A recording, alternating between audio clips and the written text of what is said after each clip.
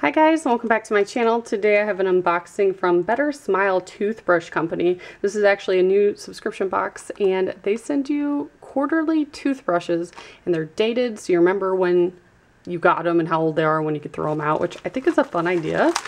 I go to the dentist regularly and so do my children, but their toothbrushes for whatever reason get gross quicker than they should. So they should probably be replaced more often. So I like this. And then you kind of know when you got them because it has the um, information stamped on there. So let's take a look. So we have a business card with all the information on it. Then it came with a postcard on the inside. This is the summer 2019. So it's tagged on the toothbrush SM for summer 19 and if you got a boy's kit, these are the toothbrushes you got. If you got a girl's kit, those are the toothbrushes you got.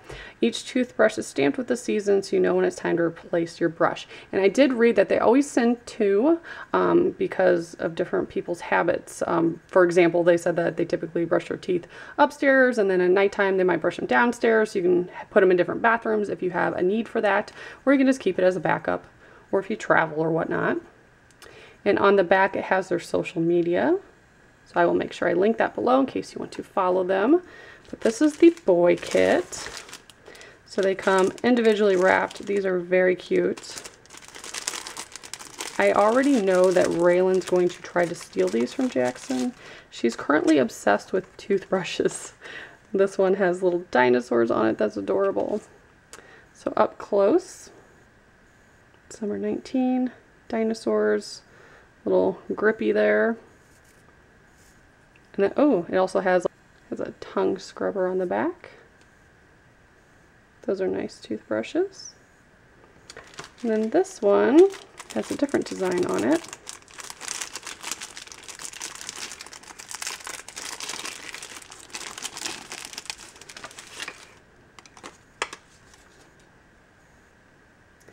This one has little instruction equipment on it. That's really cute.